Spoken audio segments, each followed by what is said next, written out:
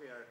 But while we're trying to sort that out, I can introduce you to Mark Spencer, the creator of Asterisk and owner of Digium. I think I pronounced it right.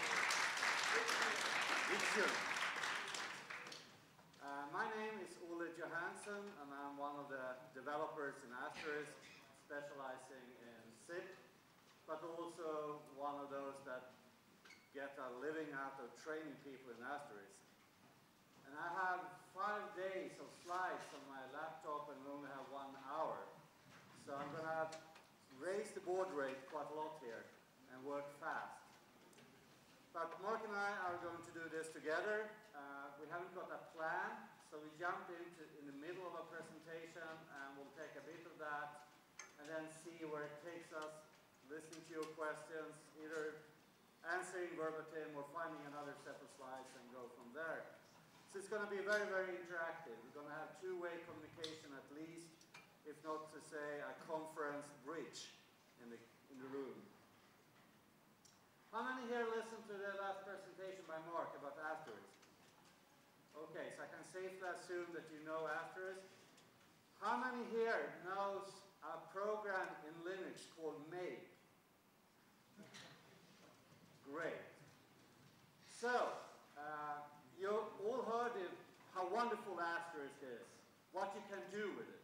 You can get your Linux PC to talk, answer your phone calls, do exciting things, create scripts that integrate with SNMP or your MySQL database, check whether or not your kid is home by using Bluetooth presence like Mark does, uh, monitoring your girls' calls. I'm soon about to start doing that. My daughter is 12 and people are starting to call her all the time. So I really need Asterisk. You need Asterisk. So let's check what you need to consider before installation, before you hit make. When you size your actual server, there's a number of functions you have to consider. You can run Asterisk on extremely small systems. I have a slide somewhere else on this laptop, um, the smallest one I've seen. It's a Gumstix computer, smaller than a Red Bull can. Not powered by the Red Bull though, even though the programmer was. But it actually hosted Asterisk being able to take multiple calls. You can install Asterisk on Linksys routers, wireless routers, the ones that run Linux, and be able to handle a few calls on that machine. If you're setting up a service provider, you need to have bigger machines. And what you need to think about is, I would say the primary factor is the number of simultaneous calls you want your Asterisk server to be able to process.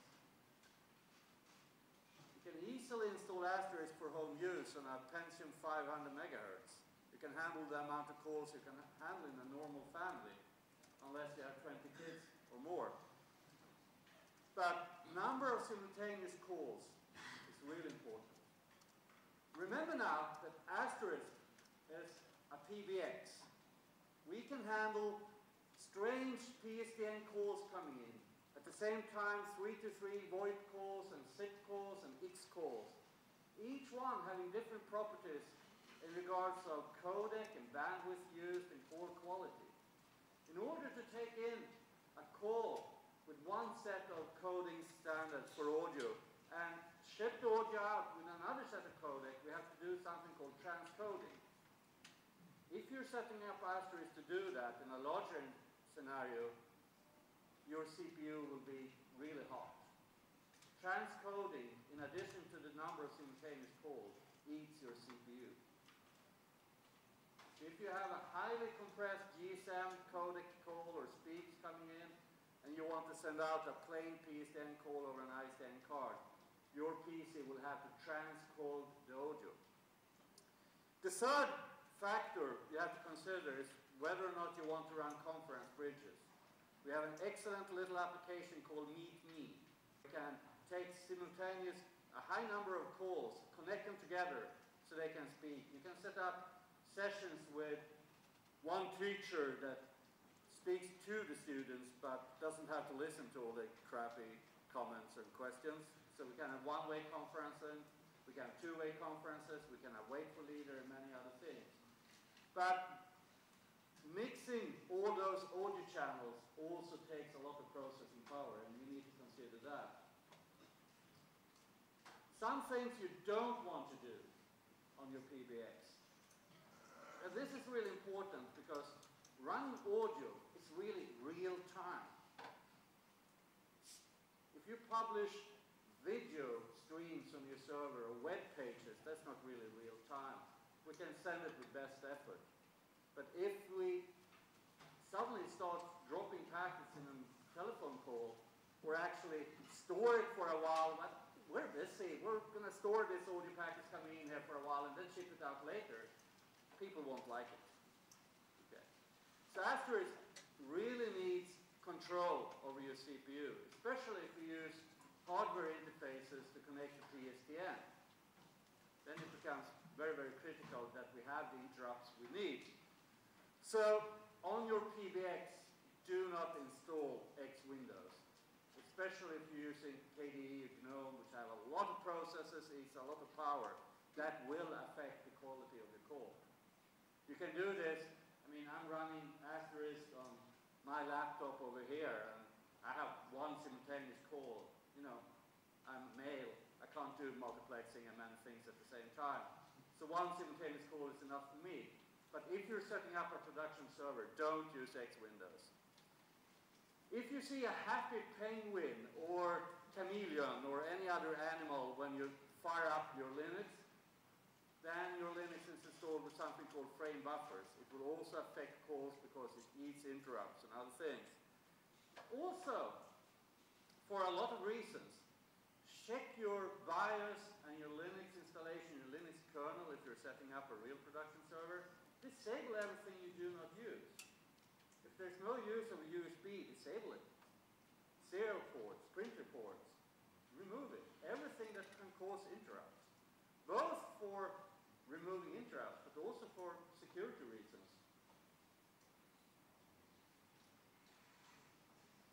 Asterisk relies on a lot of different libraries uh, in order to compile. Some of them are required, some of them will add features to your Asterisk installation. Bison used to be required, but it's not in the latest release, so this slide needs to be updated. Uh, we now have pre-processed all the parser files for you, so it's ready for compilation. We do need OpenSSL in the current release for uh, encryption and some other features. Termcap, ncurses devel, and zlib is also. Sorry? It, yeah, I said in the release version. In the trunk, we'll have a lot of new exciting features for you coming up development version of Asterisk, where we removed some of these bindings. Uh, but that's future stuff. Optional modules. Asterisk will recognize whether or not you have these installed at compilation time. We're not supporting today auto configuration with configure like many other software do, but we do recognize and check for certain installations in the make file. MPEG 123 is something we can optionally use for music on hold. We have many other ways of running music on hold today. libnewt is required by some, for some third-party applications, mainly if you buy Digium hardware and uh, want to test uh, connectivity and see accuracy and other things. Voicemail by email seems to be a very sexy feature. When I install Asterisk in a new customer site and I enable voicemail and they get audio files in the email, it's like, wow, I got to show the, the boss. Oh, the manager, my wife, someone. It's really cool. And in order to be able to send mail, we need something that sends mail. Sendmail or postfix or any mailer of your preference.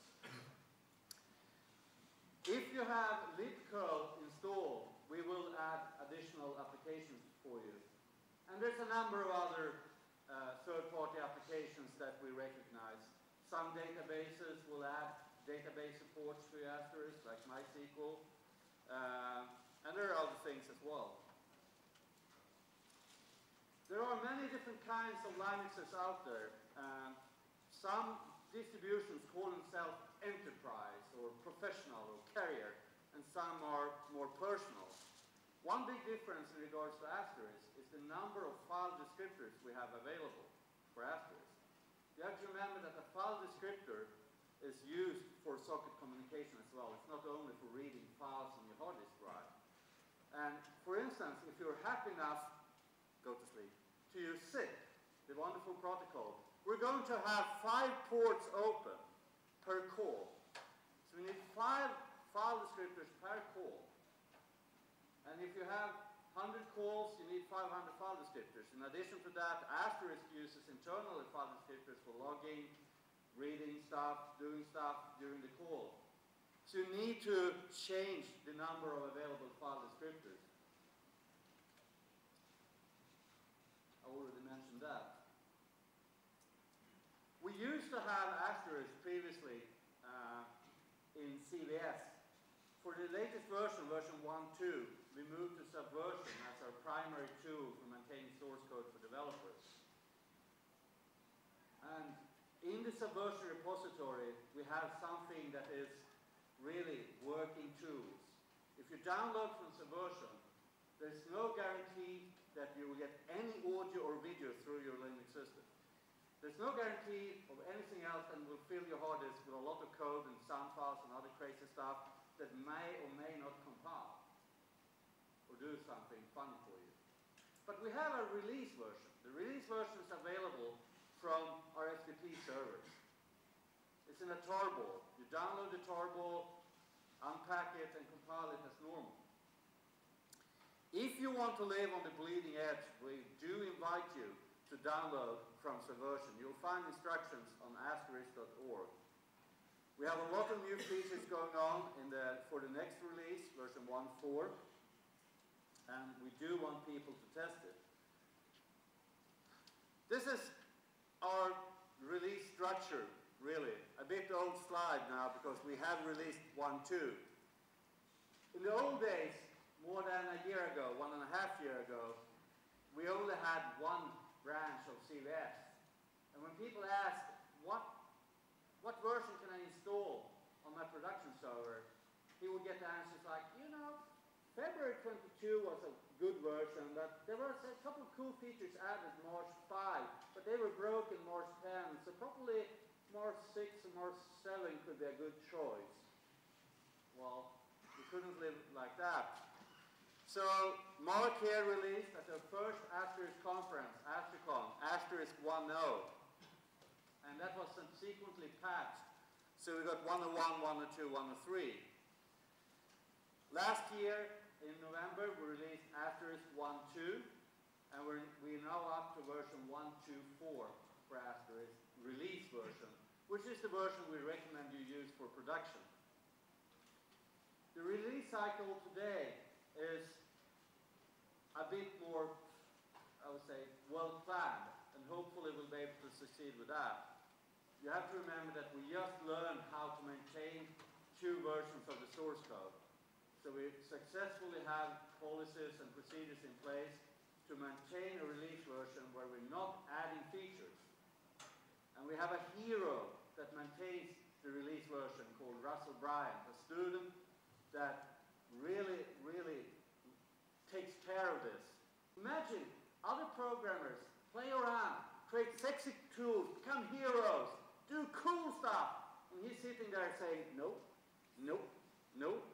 Oh yes, that's a bug fix. I'll implement that. Nope, nope, nope. And he loves it. That's a hero to me. And we tried to release him for that after one, two, saying, okay, you've done this now. Please, but he wanted to stay. So we need all kinds of people uh, in an open source project. And maintainers of stable releases, testers, and developers, they all need to work together.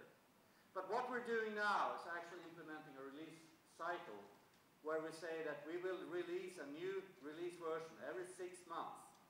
And in the plan, we have a set date for major architecture changes, a set date for code freeze, and beta testing, release candidate testing. So hopefully you'll see Asterisk 1.4 during the summer sometime. But you never know, it's the first time. So, tonight, you go home and you realize that, well, shit, it's only sports and boring stuff on TV. Fire up your Linux system, make sure you connect to the internet, download Asterisk. Untar the tar file, and you know this. Run make, make install. Next step is make samples, and we will remind you of that. Make samples will install a sam sample configuration. It's not a simple. There's a lot of options in those files. But it's a reference installation where you can connect your phone and place a few calls. You'll actually be surprised because when you call extension 1000, without 1000 on your connected phone, you'll get a menu. You get Ask Allison talking to you. And one of the options is placing a test call to Digium offices in Huntsville, Alabama. And it's quite funny listening to people who call in there saying, hey, someone is speaking in my, hello, hello, can you hear me? Oh, it's a true person, hello. And it keeps happening. Because after installation, they just work and they connect over internet and place a real phone call to USA. That's ASCII. So, let's go into a bit more details. Directories. The main configuration file of Asterisk is called asterisk.conf. It's by default on Linux installed in etc. asterisk. And this is read at boot time for asterisk to find out where we have all the optional files we need. Where do we have separate modules to load? Where do we have the collection of sound files that is attached to the distribution? All those cool Allison prompts in American English. And yes, there are distributions of other languages out there. I read the other day in the mailing list that someone made French files now as well. Some of them are professionally recorded files, like Allison files. Some of them is the wife with a bad microphone in the kitchen with the kids in the background. And you don't want to use those in a professional environment. But there are still sound files, sound prompts in various languages. and of course, you're here at FOSDEM, so you're Linux professionals.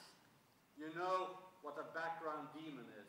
Asterisk executes as a daemon. Some people are very surprised by that because they enter asterisk in the command line and nothing happens. They get a new prompt like, who?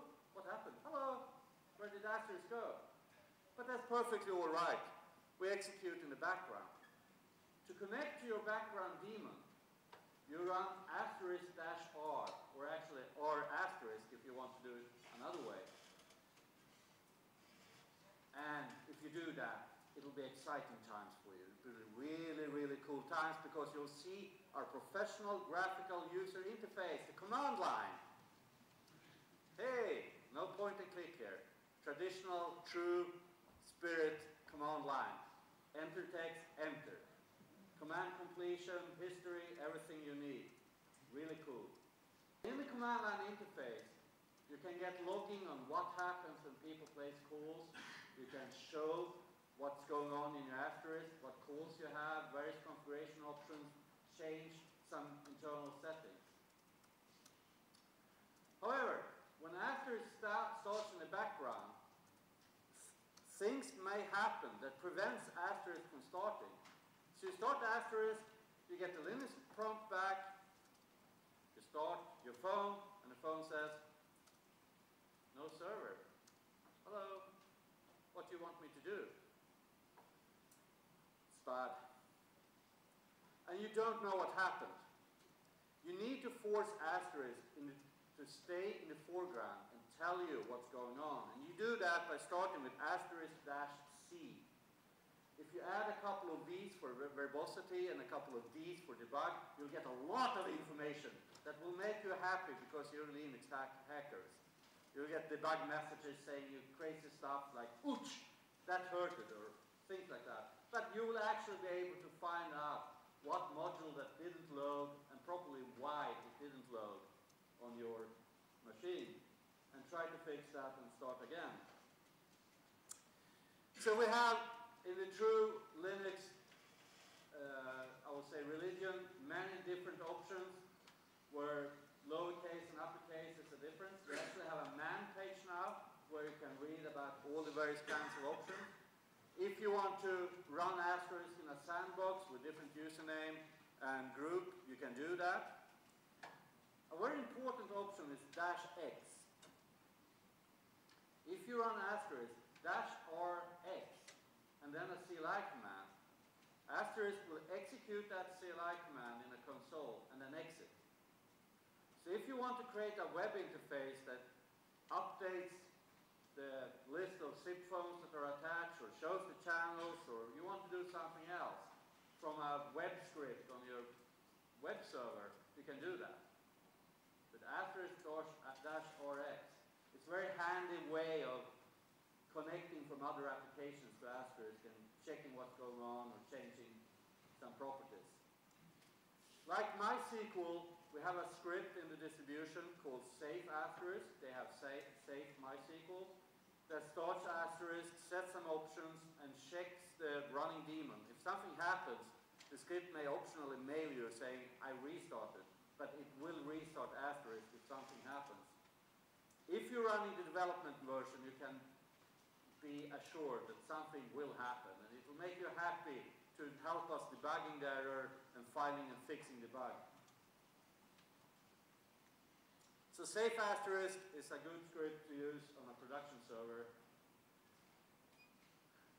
We also do our best to support the disk manufacturers by adding a lot of logging. We can log to syslog, but we can also log to ordinary text files on your hard disk drive to do everything we can to fill it. You can log various kinds of messages, and as we develop asterisk, we actually, for each message we print, we sort it up in a category so you can choose what you want to see and where you want to have logging. If you want logging to go to the console or this kind of messages to go to syslog. In a production server, you, uh, in a Linux Unix installation, you may, might want the errors to go to syslog because that's how you handle errors in all your Linux Unix systems. But warnings, notices, debug messages, you might take a file. If the server is up and running and it works fine, you might want to remove the debug messages. We also added DTMF logging. If you created creating uh, IVR scripts and you want to check your customers and maybe save logs or what they enter, you can do that now easily.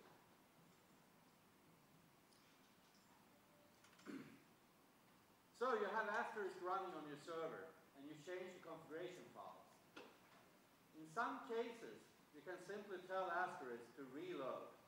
That means reread all configuration files, live happily ever after, but stay alive. However, for some of the configurations, we can't let you do that. Because if we have active objects, like SIP phones that are active with us, we won't reconfigure them on the fly.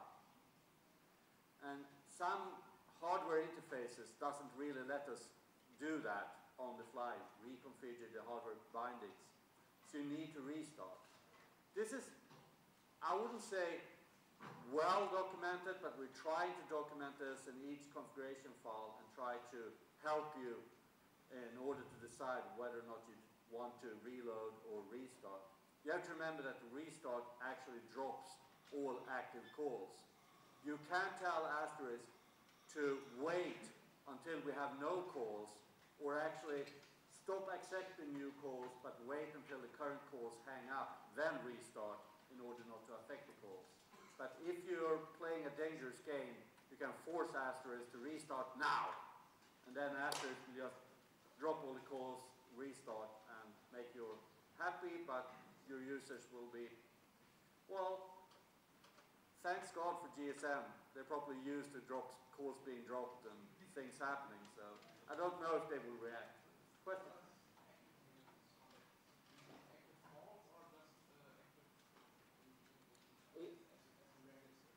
It, depends on the module, really. We have so many different modules. But for instance, in SIP, if a peer is registered with us, we will not reconfigure the peer.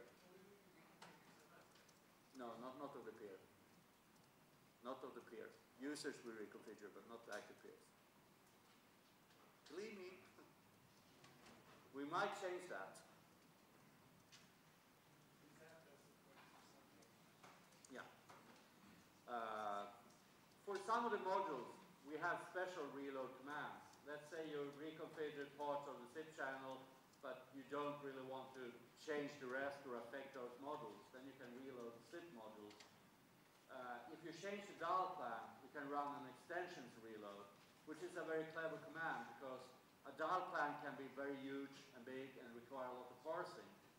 And you don't want that parsing to affect your concurrent function of the PBX. So you actually do all the parsing without changing the running PBX. And when we're done and we have a complete in-memory dial plan, we quickly shift them in memory and release the old one without affecting the calls. So extensions reload is a good command to remember. And as Mark said earlier on, we actually, in our beautiful wonderful Linux Hacker adapted graphical user interface, we have a lot of documentation. We have show applications and show application application. We have show function now in 1.2. We have a new construct called functions that help you build a dial plan. Of course, we have help,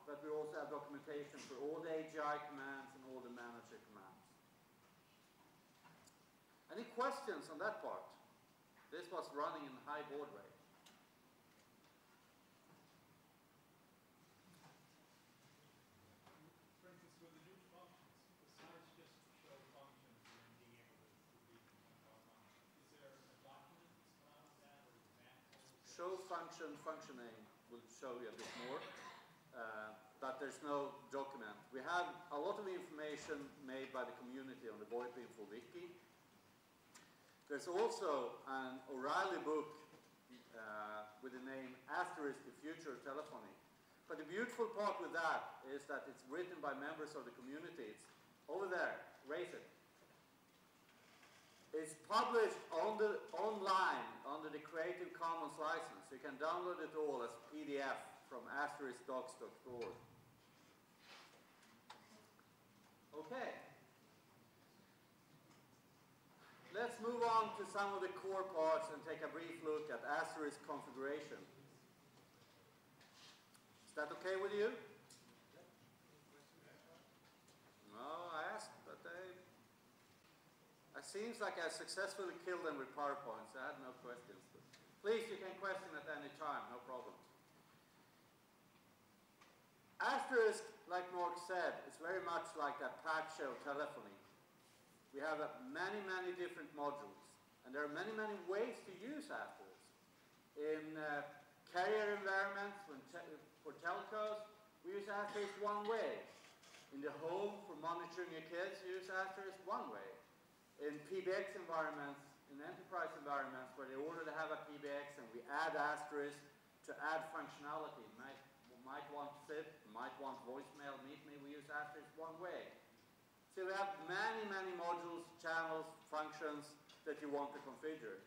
But don't be afraid because you, when you start using asterisk, you won't have to touch all of those files. They're just there to scare you.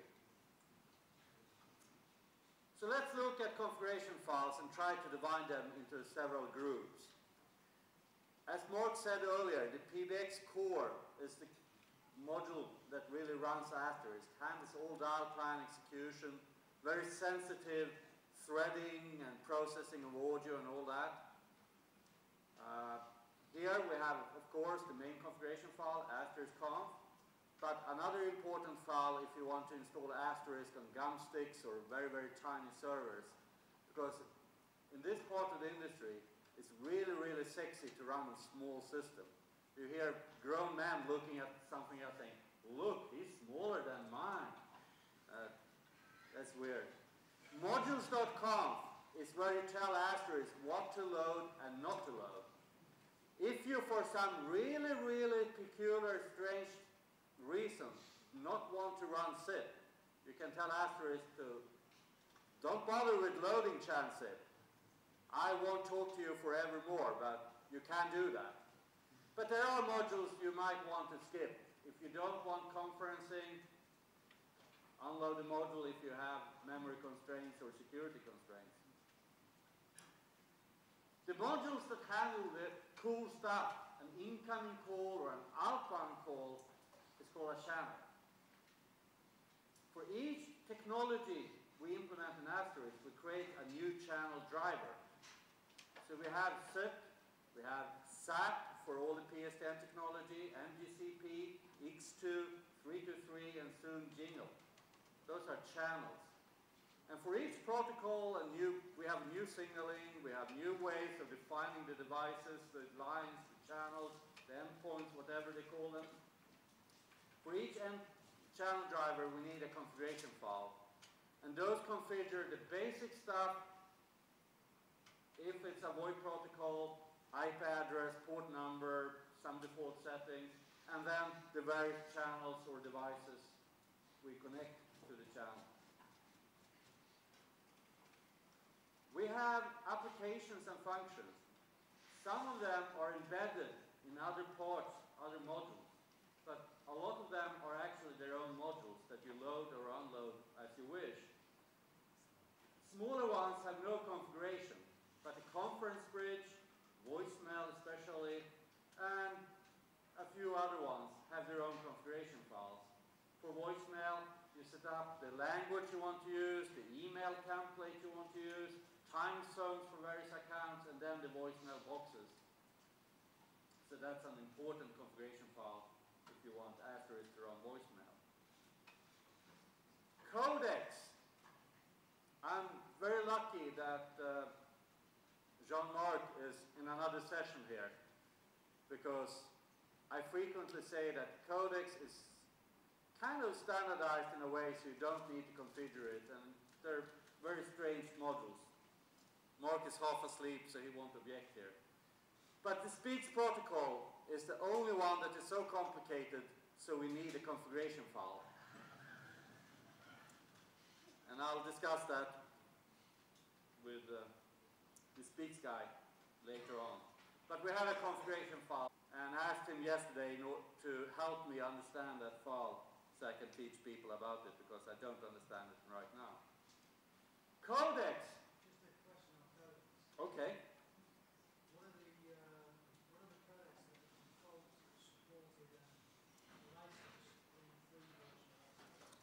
Let's see. I have a slide of that. If you wait, Mark.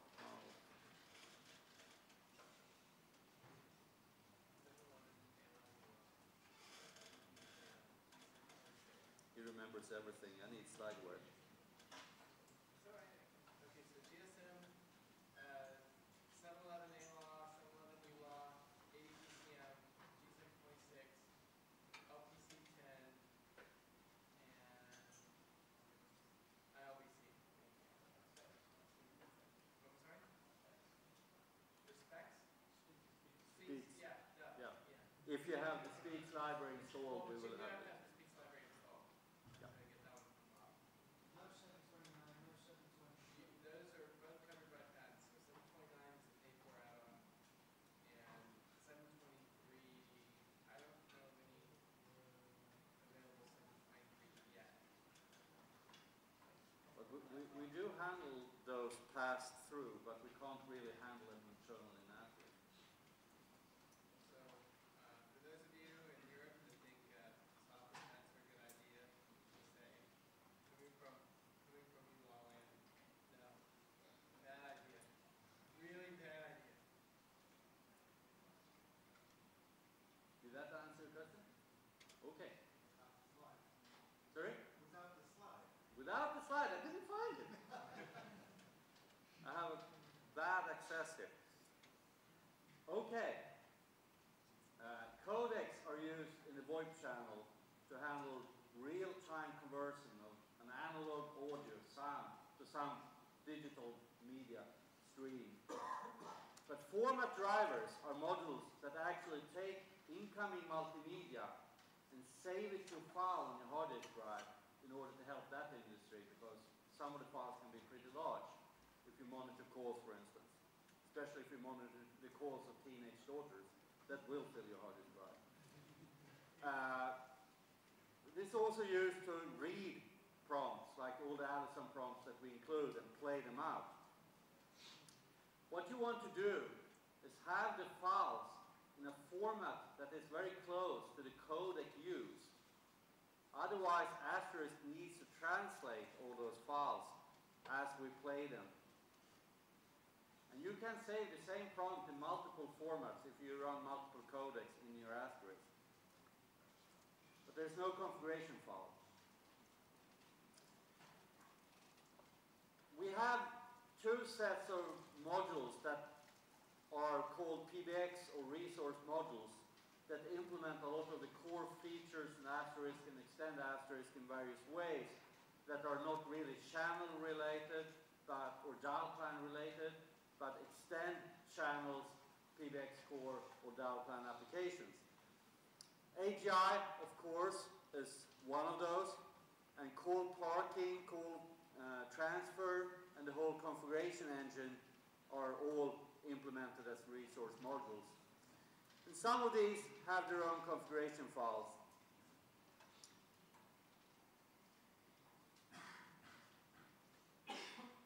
Information wants to be free, Mark said. But there are people who believe that information wants to be built. There are people who have a telecom history where they want to charge for usage instead of availability. And uh, unluckily enough, we have to support that. But you also might want to log each call for traceability in order to see what happens in your PBX, run statistics. For instance, with the web interface created by Reski here, Ray, he made an open source interface to the CDR records. We have various modules to satisfy these crazy people. Uh, we can, of course, by default, all the call data records as CSV, comma-separated text files, which should be the worldwide standard. It's easy to handle, it's standardized, and every Unix application can handle it. However, people want to store it in crazy databases, so we support a wide range of databases as well as ODBC. So there are many different drivers to store information about each call as it either fails or is hung up. And each of those have their own configuration file, and we also have a generic configuration file for the CDR subsystem now in order to set some generic information like time zone data and other things. Uh, these configuration files mainly handle settings for logging into various database systems, pointing out database and table names and such.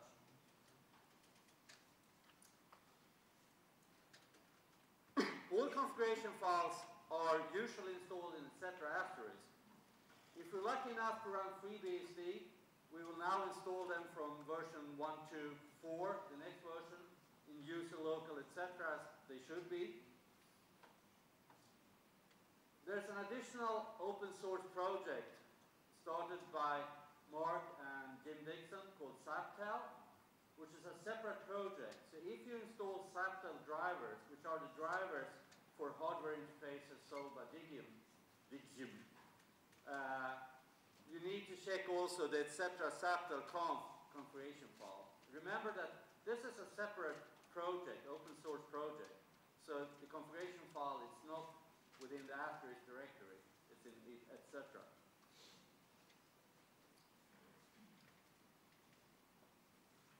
And well, I have to warn you that well, this is an open source project. Anything can happen. We have no.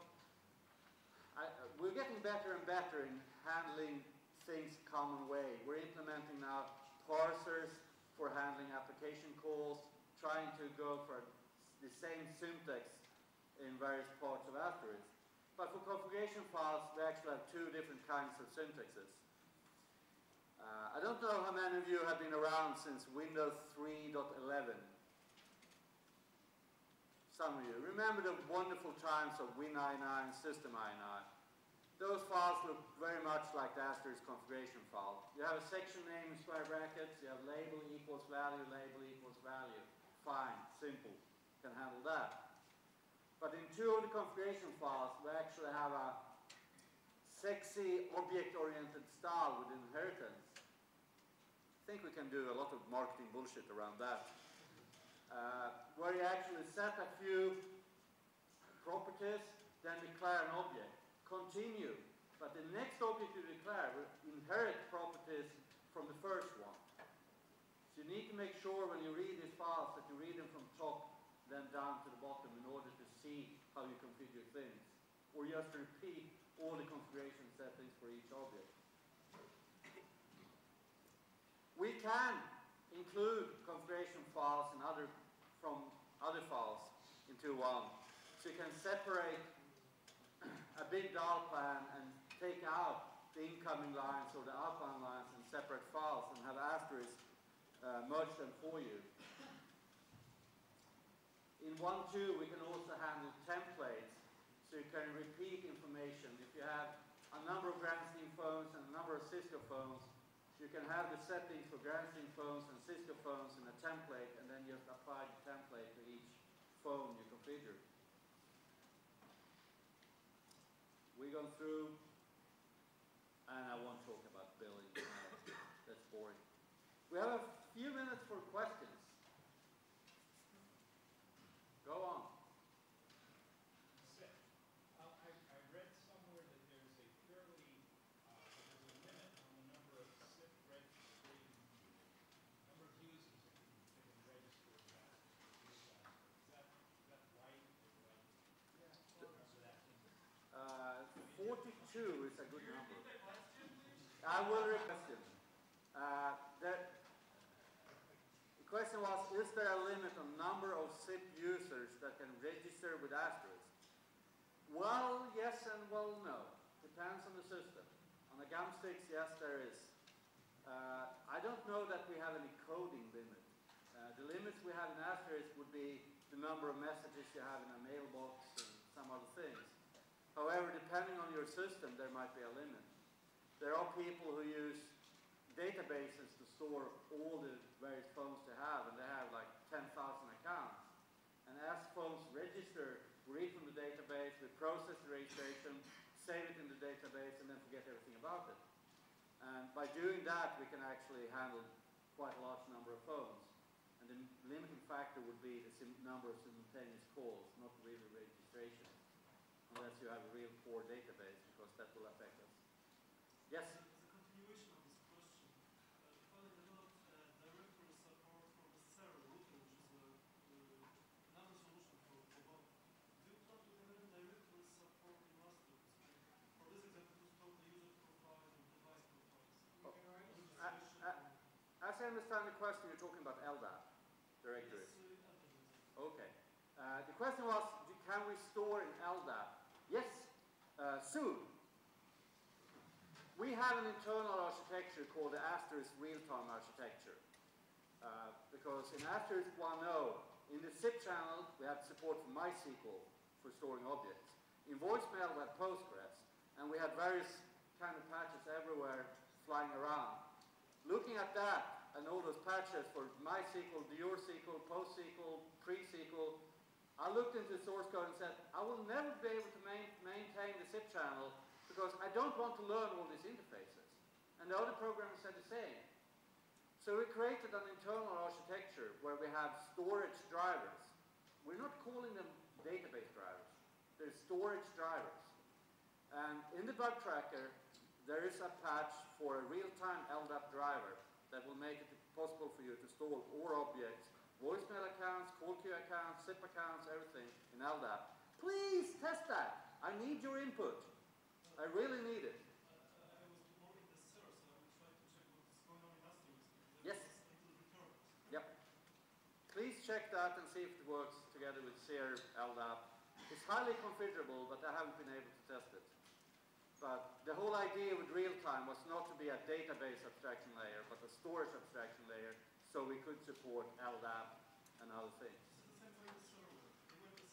Yep. Stealing ideas is a good thing. Okay, more questions?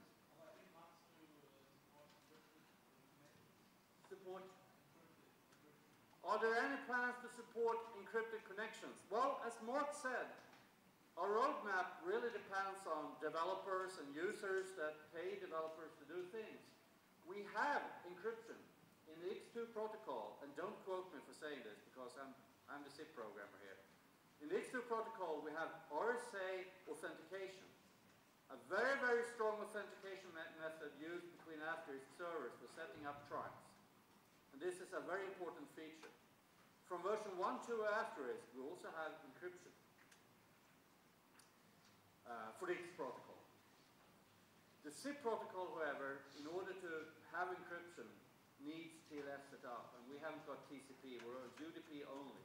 In order to get TCP working, we really need to rewrite some of the basic socket abstractions and some of the signaling, because a lot of things doesn't apply on, a, I would say, a TCP transmission layer. So hopefully we can have that by the end of the year. There is a strange patch in the bug tracker for encrypted audio, SRTP. However, the key exchange is made in the full open uh, in the SIP protocol, and it works with SNOM phones and some other phones. So it's a good start. It seems all the TCP TLS support is pressing. It's like the, it's in the background. We have a, a patch, but that's a, an experimental patch for TCP support in the bug. There's a lot of stuff in the bug tracker. However, that patch really doesn't scale and do everything right. So it's very, very, very basic. Yes, we can open a TCP socket and listen to incoming connections. There's a lot of things we do wrong in that.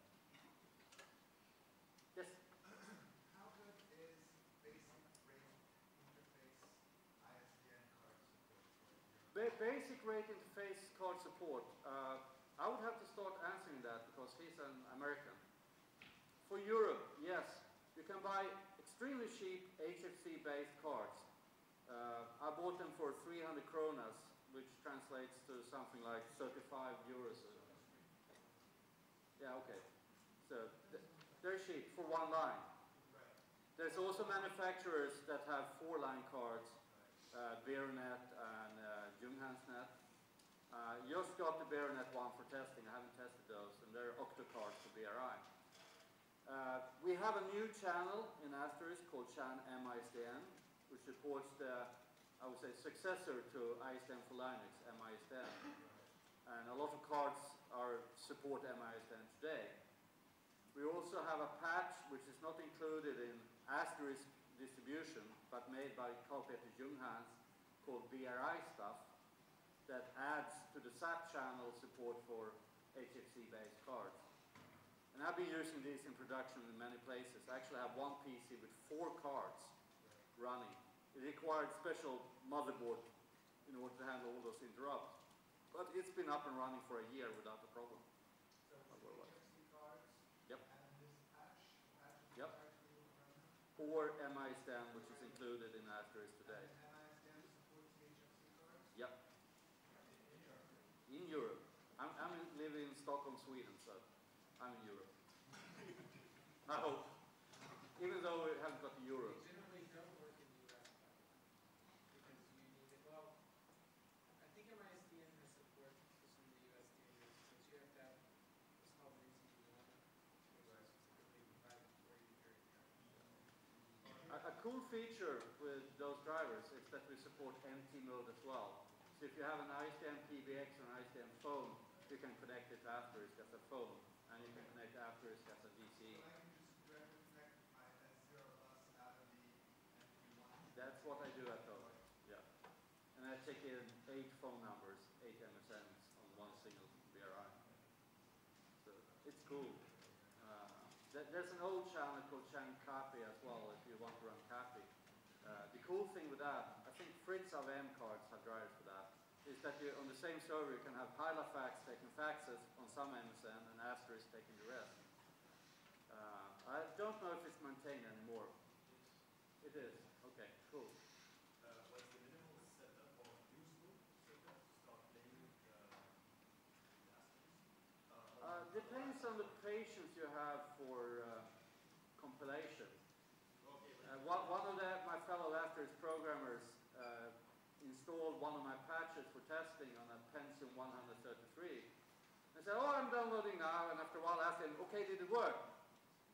Hey, I'm still compiling. and he compiled for an hour or two, but But okay, let's make abstraction of that. Uh, I just uh, want to play uh, with it on a, on a laptop. I don't have a, an IT. a laptop works great. If you have a sound So. card, that's all you need, full complex, Yeah. or OSS supported sound card, and you can use that as a And you, you can dial from the command line then. Place calls over the sound card.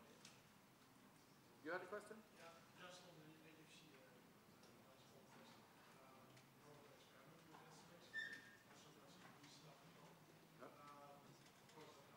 experiment with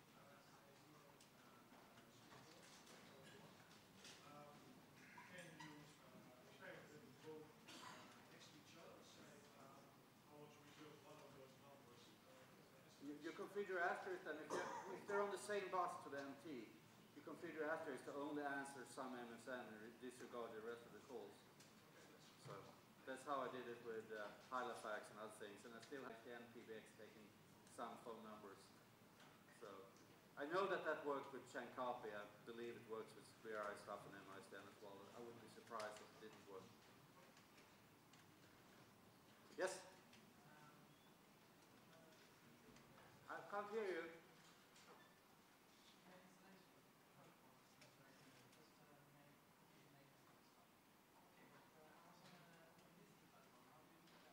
On OpenBSD? Uh, that's a good question. I haven't run on OpenBSD, but on FreeBSD. I actually did most of my Atlas development on FreeBSD. And the only, I would say, thing that doesn't work is the Zaptel drivers, because they're kernel level drivers. However, there is a project that created Zaptel drivers for FreeBSD, so we can get the timing we need for some applications. But I, I run production servers on FreeBSD with VoIP only, and it works brilliant. Um, we, in, in, in uh, the source code, we actually support NetBSD, FreeBSD, OpenBSD, and OS 10.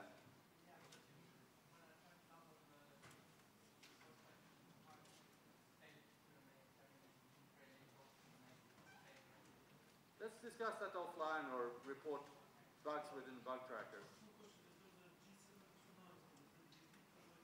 729 for FreeBSD, I believe it's available. We have 729 for FreeBSD, OS 10, and Linux.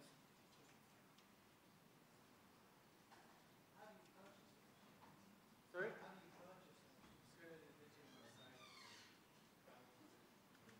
Uh, I think they're ten dollars a channel or, that's a license fee to the patent holder. So Digium.com have a mail order shop for you. How about uh, uh, interfaces that provide information and uh, control possibility uh, to an external application? Uh, is it already included in the uh, That- that- I I was thinking about CSPA, for. Yeah. We- We have a cool interface called the Asterisk Manager interface. It's also asking. Uh, There, there's AMI already today, which is a TCP/IP interface, and then there's also SNMP in the bug tracker. That's one that wants to be integrated.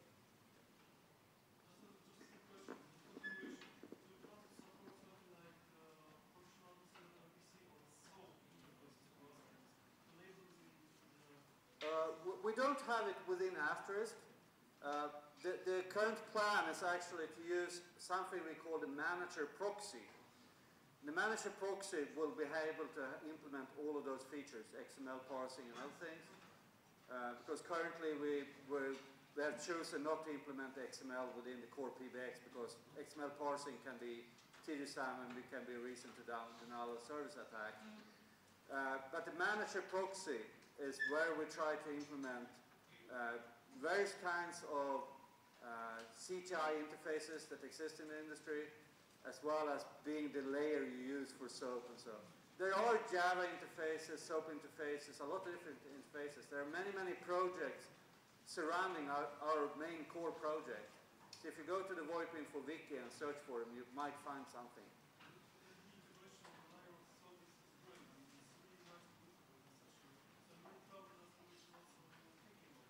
Yeah. But currently we have a kind of raw and unstructured manager interface. And probably keep working on the raw and unstructured interface and structure it a bit more so you can easily use the manager proxy to translate that into various XML calls and support SOAP, XML RPC or whatever flavor you want. Yes? You've talked about asterisk acting as an IVR, and generally, the local platform works with an ASR and TTS. Which one do you support? Sorry? Which TTS and ASR do you work with? There's, uh, there's not official support. There's not official support built in uh, for a speech rec engine yet, but we're working on doing it. Um, you can use Festival already, and there's Res which is uh, officially going to be available soon. It's sort of unofficially available right now, but uh, you'll officially be able to get it. But Res is obviously based on the Cepstral uh, text to text-to-speech, which is a proprietary package. So your options are fairly limited in the pure open source sense, just because there's there's not a lot of really good text-to-speech festivals, about as good as it gets, and it's very CPU intensive, and not uh, especially scalable. And you've got Sphinx 2 on the on the SpeechRec side. Um, that's uh, but we haven't seen real official uh, integration with it yet. Will you support MRCP soon, someday, or something like this? Uh, don't know. That, that question's been raised, but there's also um, voice XML, which might be a more logical route to go initially. But I guess that's sort of to be decided still. Uh, what we have in Asterisk, oh, one, two, bad sound, we need speaks here, uh, is an interface called external IVR, which can be used to connect to your application over a Unix pipe, and your application will control the whole IVR prompts and everything. So you can produce prompts in real time, store it uh, available for Asterisk, and tell Asterisk to play it. Uh, that's been used to create kind of live auctions on the phone where you can't really script it because you don't know what's happening and when, so you need to control it from an external application. So that's a very good user interface to create your own integration to various kind of engines, voice XML and other things. I've seen people use that for voice XML. And we have a few patches that we included in the SIP channel in order to be able to send the URLs you need for that kind of stuff. So it's a really killer application. Asterisk is already the killer, yes. How does Asterisk implement user program features? Again, How does Asterisk keep track of the user program features? Suppose that I'm at location A, uh, phone, and I forward my phone to another location, but I'm moving to uh, okay. How do we keep track of the user location? What's that? Uh, features.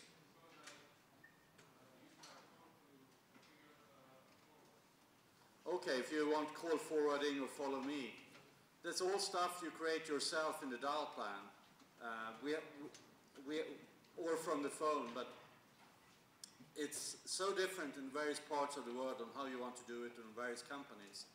But because the dial plan is highly scriptable, you create do not disturb, follow me, call forwarding functions. On some phones, VoIP phones, especially SIP phones, the phone wants to be king.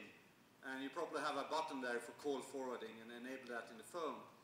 And by doing that, Asterisk will place the call first to the phone and get a forwarding instruction from the phone and follow that to the next point.